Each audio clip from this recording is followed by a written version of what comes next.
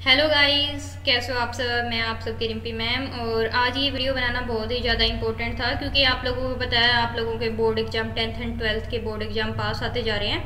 और बच्चों जैसे जैसे बोर्ड एग्ज़ाम पास आते जा रहे हैं वैसे वैसे नंबर ऑफ़ कोरोना केसेस भी बढ़ते जा रहे हैं। क्योंकि आप लोगों को पता है, जैसे कोरोना स्टार्टिंग में चला था, कोरोना आया था तो नंबर ऑफ़ केसेस फिर भी कम थे, लेकिन अभी अगर हम लोग नंबर ऑफ़ केसेस वहाँ से कंपेयर करें उससे तो यानी कि बहुत ज़्यादा केस आ रहे हैं नए नए तो बहुत ज़्यादा कोरोना फैल रहा है। कई सारे स्टेट ने तो अपना लॉकडाउन भी लगा दिया और जो बोर्ड एग्ज़ाम थे उनको पोस्टपोन कर दिया या कुछ टाइम के लिए कैंसिल भी कर दिया गया है।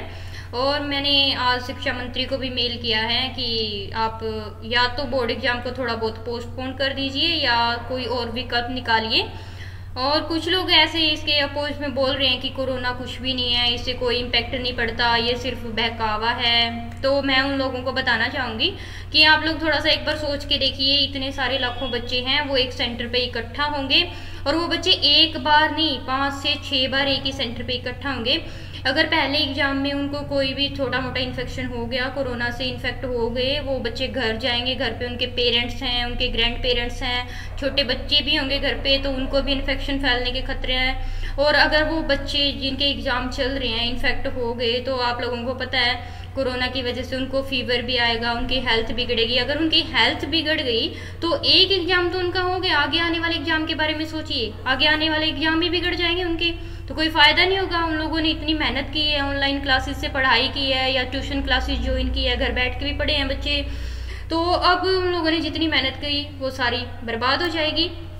क्योंकि उनकी कोरोना की वजह से अगर हेल्थ बिगड़ गई तो यानी कि सारे के सारे एग्ज़ाम उनके खराब हो जाएँगे, अगर वो बाई चांस एग्ज़ाम देने भी चले गए तो दूसरे बच्चों के कॉन्टेक्ट में आएँगे, दूसरे बच्चों को भी इन्फेक्शन हो सकता है, यानी कि ये बहुत ज़्यादा डेंजरस कंडीशन हो सकती है आगे चल के। तो एक बच्चा सिर्फ़ अपने घर वालों से नहीं, बल्कि अपने दोस्तों से भी मिलेगा सेंटर पे जितने बच्चे होंगे, वो अपने घर जाएँगे। तो आप लोग थोड़ा सा सोच के देखिए, कितना ज़्यादा कितना ज़्यादा डेंजरस सिचुएशन हो सकती है उस टाइम पे।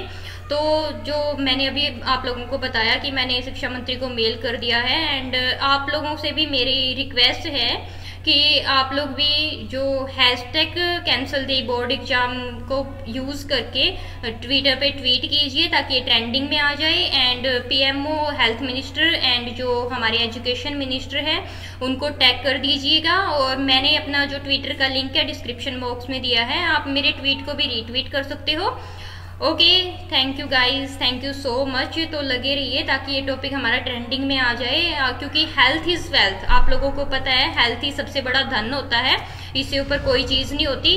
टाइम के साथ साथ बाकी चीज़ें तो चलती रहेंगी। टाइम के अकॉर्डिंग हमारे एग्ज़ाम भी हो जाएँगे, अभी नहीं दो महीने लेट हो जाएँगे। ओके थोड़ा सोचना और जो नेगेटिविटी वाले लोग हैं, उनको भी मैं थोड़ा सा रिक्वेस्ट करना चाहूँगी कि इस बारे में जो स्टूडेंट लेवल पे अपने आप को रख के वो थोड़ा सा इस चीज़ को सोचे। Okay thank you so much